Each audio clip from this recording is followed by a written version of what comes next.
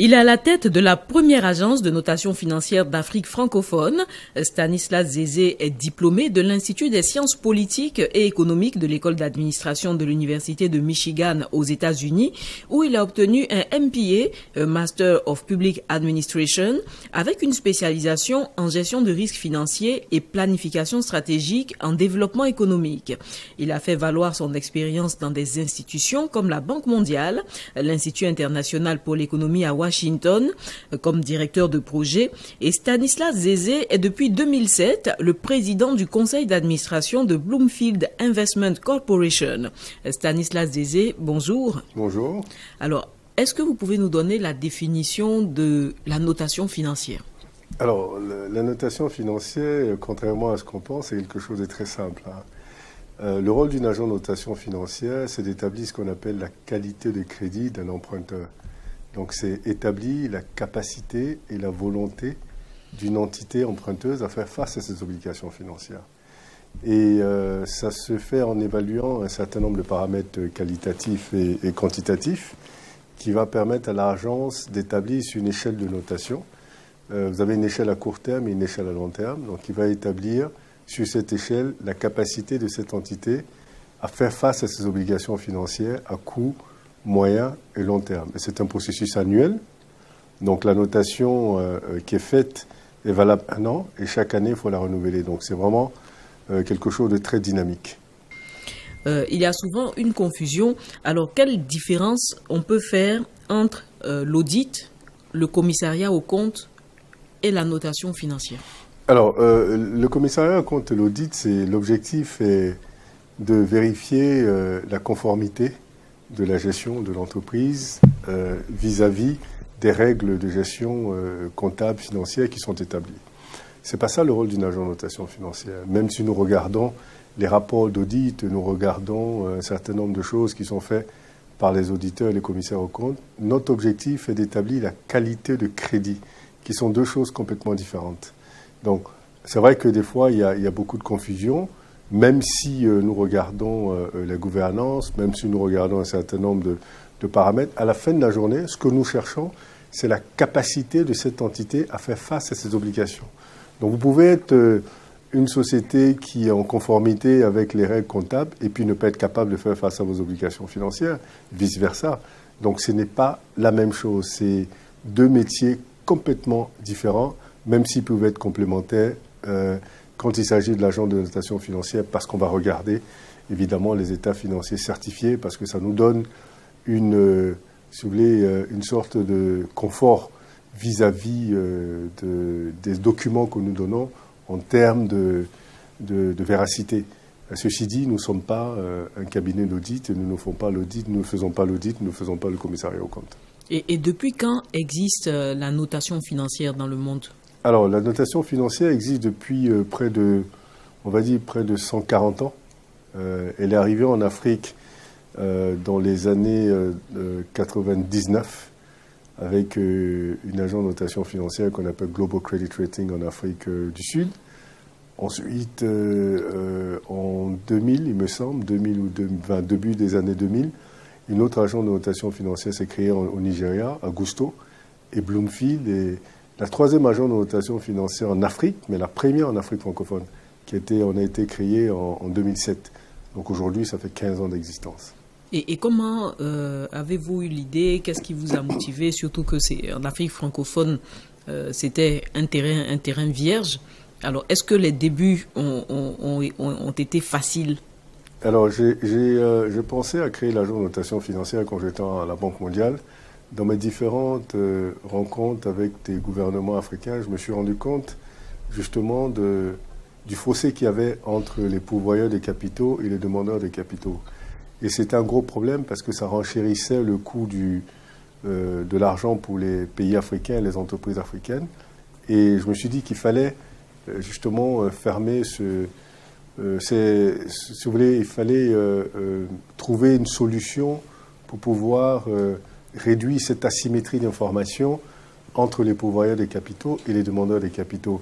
Et pour moi, euh, une agence de notation financière était l'outil par excellence pour justement euh, euh, réduire cette asymétrie d'information. C'est la raison pour laquelle j'ai décidé et je commençais à écrire le projet pendant que j'étais à la Banque africaine de développement. Et finalement, j'ai quitté la Banque africaine de développement, je suis allé à Shell et pendant que j'étais à Shell, j'ai finalisé le projet et j'ai décidé de créer l'agence euh, en 2007. Évidemment, c'était quelque chose de nouveau dans un environnement comme celui-là, qui culturellement n'est pas forcément un environnement transparent, mais plutôt un environnement opaque. Donc venir avec un outil qui parle de transparence et de bonne gouvernance, évidemment, euh, il y avait euh, une certaine réticence, même du marché et, des, acteurs du marché. Évidemment, nous avons persévéré, nous avons démontré par la pédagogie que c'était un outil qui était un outil non seulement formidable, mais nécessaire pour le développement du marché des capitaux. Et 15 ans après, évidemment, euh, l'histoire nous donne raison euh, d'avoir persévéré et d'avoir insisté. Et, d'ailleurs, c'est rentré dans, les, mœurs du marché des, capitaux et c'est même rentré dans la réglementation du marché des capitaux dans l'UOMA, par exemple. Mhm. Et, quelle est la, monnaie de référence Alors, nous faisons notre notation financière en monnaie locale, ce qui est différent des agents de notation internationale qui font leur notation en devises étrangères. La différence, c'est que euh, en monnaie locale, nous établissons la vraie qualité de crédit, parce que votre capacité à rembourser, on l'établit dans une monnaie. Donc évidemment, votre monnaie d'opération, qui est votre monnaie qui établit votre richesse, euh, il est forcément euh, beaucoup plus logique d'établir votre capacité à rembourser dans cette monnaie. Votre capacité à rembourser en devises étrangères va dépendre du niveau de réserve de devises de l'espace monétaire dans lequel vous vous trouvez. Donc ça veut dire que si vous êtes dans un espace monétaire qui a très peu de devises, même si vous avez en monnaie locale, vous êtes très riche, vous pouvez être très pauvre en devises. Donc la notation en devises étrangères vous donnera une mauvaise note pendant que vous avez la capacité de remboursement. Donc, nous, on a fait le choix de faire la notation financière en monnaie locale pour pouvoir justement établir la vraie qualité de crédit des pays africains et des entreprises africaines, qui étaient d'ailleurs, qui sont d'ailleurs pénalisés par la notation financière en devises, en devises étrangères. On le voit sur euh, les marchés des capitaux à l'extérieur. Maintenant que nous sommes rentrés dans la danse, évidemment, ça a un impact finalement euh, sur les investisseurs qui comprennent désormais que la notation en monnaie, en devises étrangères ne détermine pas la vraie capacité de remboursement euh, des pays africains et des sociétés africaines. Donc je crois que ça, c'est un grand milestone qu'on a accompli. Et aujourd'hui, tout le monde comprend ça. Nous notons les pays africains qui font valoir leur notation en monnaie euh, locale pour pouvoir challenger justement les notations en devises étrangères. Mhm. Euh, Stanislas Zézé, vous avez euh, parlé de, processus annuel concernant la notation financière. Alors, quelles sont les étapes justement de ce processus? Alors, c'était, euh, enfin, la première année, on signe le contrat naturellement. On va faire le lancement de la notation financière à travers une présentation au comité des directions et nous allons initier une demande de documents, donc des documents qualitatifs, des documents quantitatifs, que nous allons analyser euh, à la réception.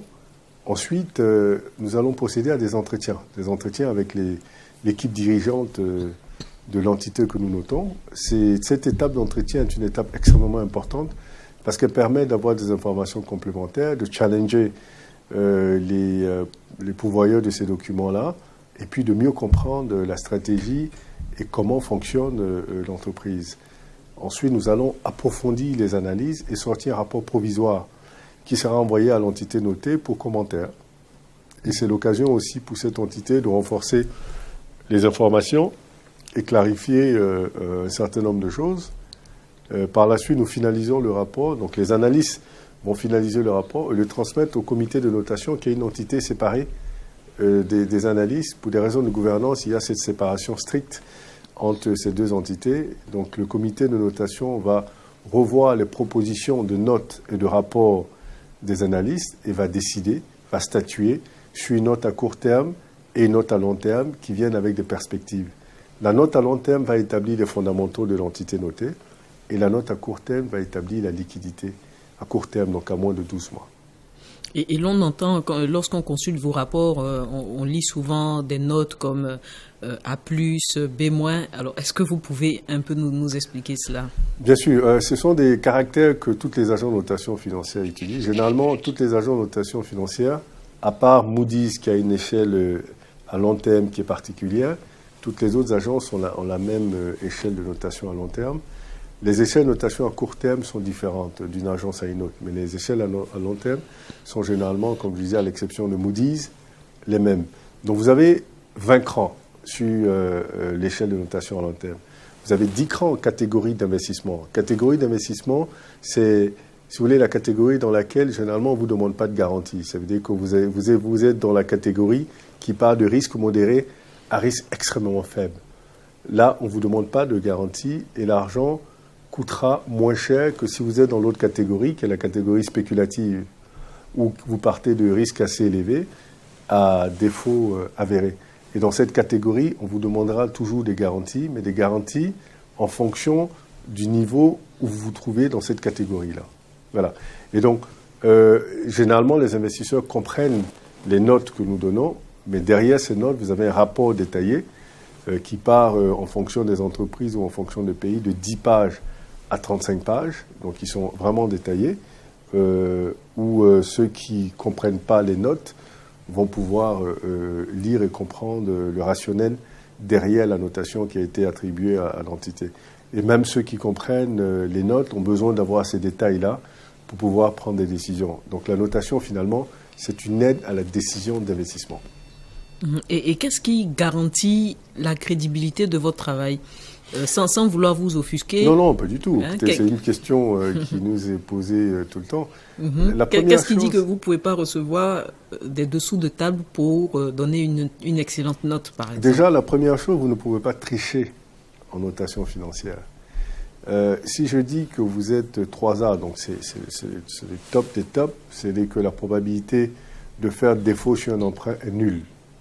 Si je vous donne cette note parce que vous avez payé pour et qu'en réalité vous valez C, C ça veut dire que la probabilité de défaut elle est très élevée.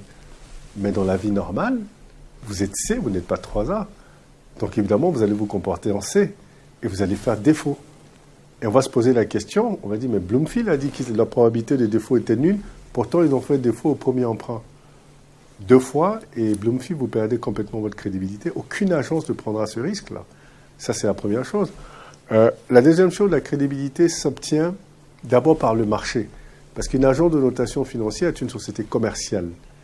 Donc, avant même d'être agréé par l'administration, on vous demande d'avoir fait vos preuves auprès du marché. Donc, ça veut dire que si les gens vous font confiance, parce que vous avez démontré par votre méthodologie votre capacité à établir la qualité de crédit, évidemment, à ce moment-là, l'autorité de régulation vous fera confiance et va vous agréer euh, avec, euh, en vous demandant un certain nombre euh, d'éléments. Donc nous sommes agréés sur le marché de l'UEMOA, nous sommes agréés sur le marché du Rwanda. Nous sommes reconnus par la CEMAC et par les autorités des marchés européens parce que nous, travaillons, nous notons des entreprises en France et en Angleterre. Donc évidemment, cette crédibilité vient de là. Ça fait 15 ans que nous existons. en 15 ans, vous avez jamais, il me semble que vous avez jamais entendu de scandale sur Bloomfield qui a vendu des notes. Nous ne vendons pas les notes, mais nous vendons le service d'établir des notes. Euh, et à, qui profite euh, la notation financière? La notation financière profite déjà à l'entité qui est notée parce que ça lui permet d'établir sa qualité de crédit et de pouvoir mieux négocier ses taux d'intérêt et ses conditions d'emprunt. Elle profite aux investisseurs qui, eux, vont avoir une vue globale et détaillée sur euh, la capacité de remboursement des emprunteurs et va permettre aussi de réduire justement cette asymétrie d'information parce que maintenant ils ont une visibilité et euh, pour les autorités de régulation du marché euh, des capitaux, ça permet d'avoir un marché transparent parce que ce sont des rapports qui sont publiés. Donc tout le monde peut voir euh, comment fonctionne telle ou telle, telle entreprise. Et même pour l'entité notée, ça lui permet, ça lui sert de tableau de bord parce que nous mettons en relief de façon très claire les forces et les faiblesses de cette entité-là. Et évidemment, l'entité mettra en place une stratégie qui lui permettra de pallier aux faiblesses et de renforcer les points positifs. Stanislas Zézé, merci. Merci.